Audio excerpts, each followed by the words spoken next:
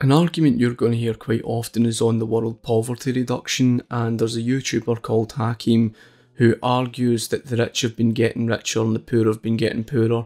It's basically to say that this is all capitalism's fault, therefore we need to usher in socialism to solve this problem. According to the World Bank, the governments of wealthy countries, and the UN, that the world is getting better and better, and it's all thanks to capitalism and Western aid. They color their speeches with cozy words and nice sounding rhetoric, but it's just that, rhetoric. Poverty worldwide has not been decreasing, and in fact, evidence shows that it's been actually increasing.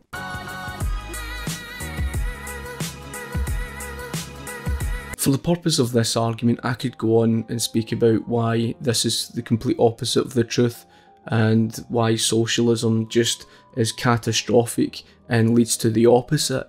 However, for my argument, I'm going to, you know, point out the very data that contradicts his argument to prove that the rich have been getting richer and the poor have actually been getting richer. And that's not bad given the very fact that, the, you know, the world's population today are living under mixed economies and not living under free market economies. First of all, the definition of poverty has been changed in a way that serves this poverty reduction narrative. The threshold of poverty, which is the poverty line, is normally calculated by each nation for itself, and it's supposed to represent what an adult needs to get by in every respective nation. In 1990, Martin Ravallion, an Australian economist at the World Bank, noticed that the poverty lines of a group of the world's poorest countries clustered around $1 per day. On Ravallion's recommendation, the World Bank adopted this as the first ever international poverty line.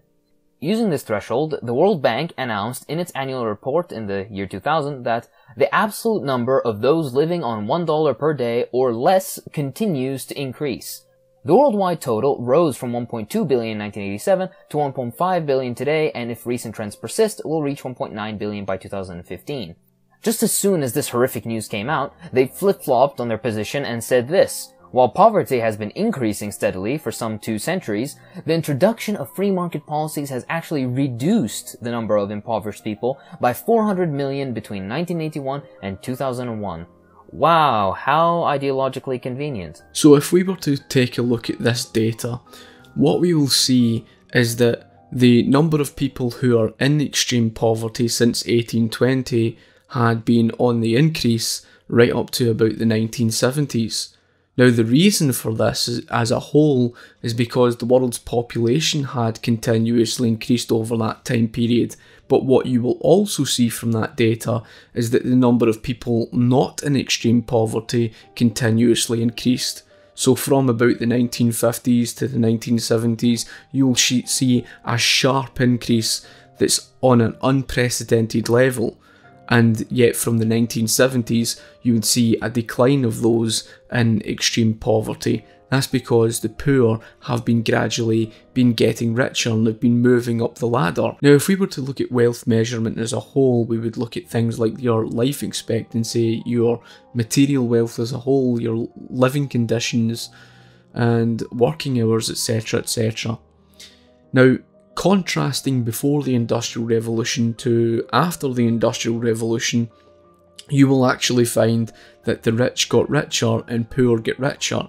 I've pointed out information on that before. Even if we look at this data, you will see that from the 1820s, when more than 80% of the world's population was sitting on less than $1 per day, well, you look at the vast decrease of that most of the world are now earning above that. They came out of the extreme poverty bracket. Even I could argue that the African continent today as a whole is actually richer than what it was of the 18th century. Why? Because today people have electricity, which was non existent in those days. Another thing that you would look at is that, you know, many of these African countries actually have medicine that was not present in those days. So there is, to a degree, um, better material wealth in the African countries. Now, I acknowledge the fact that yes, sadly, the African countries are going in the opposite direction, implementing more and more socialism, not capitalism, more and more socialism that's causing them to get poorer.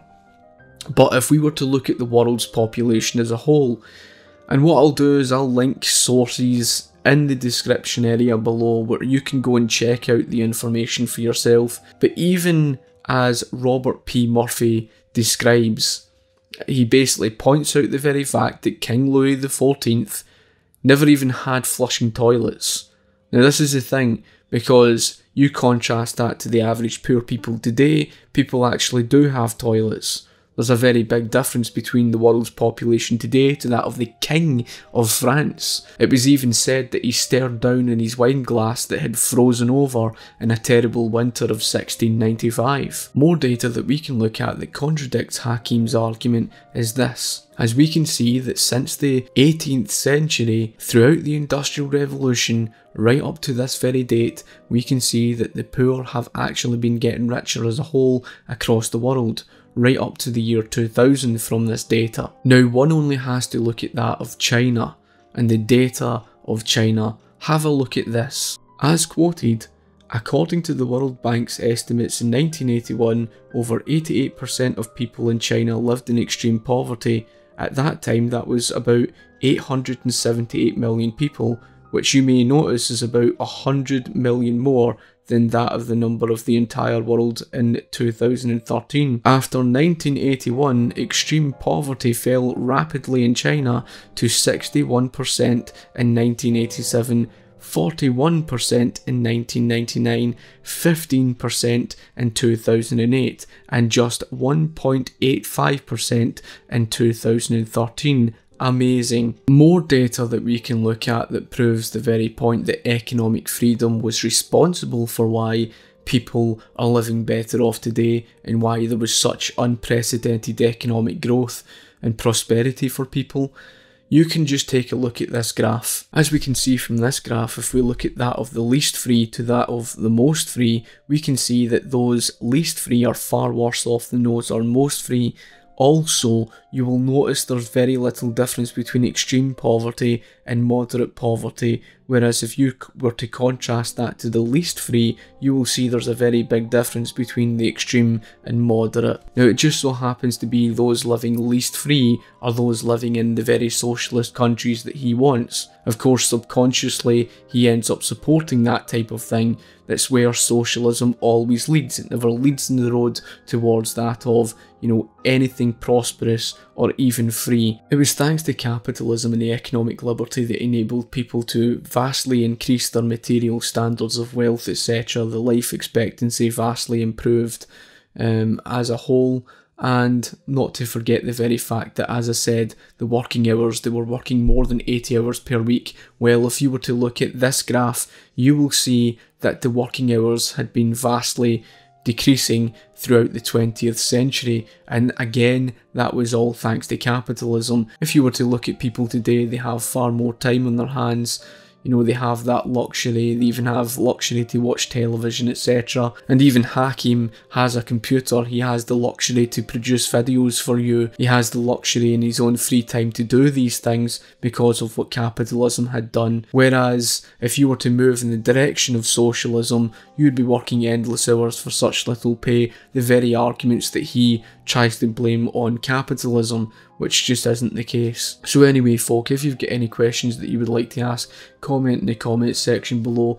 If you found this video informative, please give the video a thumbs up, and of course share the video, favourite the video, and of course thank you for watching, and I hope you enjoyed it. Cheers.